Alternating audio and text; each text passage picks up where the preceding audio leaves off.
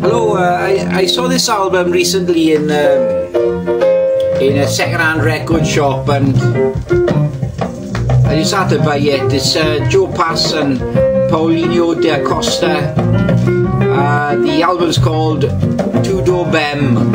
It's on um, Pablo Records, uh, released in uh, well, recorded in 1978, of course, Joe Pass, um, jazz guitar player, and uh, Paulinho da Costa, Brazilian percussionist. But uh, the, the lineup on here is just absolutely fantastic. You got um, on bass Octavio Bailly, drummer is uh, Claudio Slon, and uh, on keyboards um, Don Grusin. So great album cover too.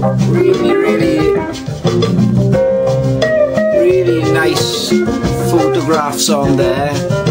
Um, we're listening at the moment. Uh, this is uh, the first record off uh, the album. Uh, it's called Corcovado. It's absolutely fantastic. Uh, a short video just to show this record that I bought. Really very very good indeed.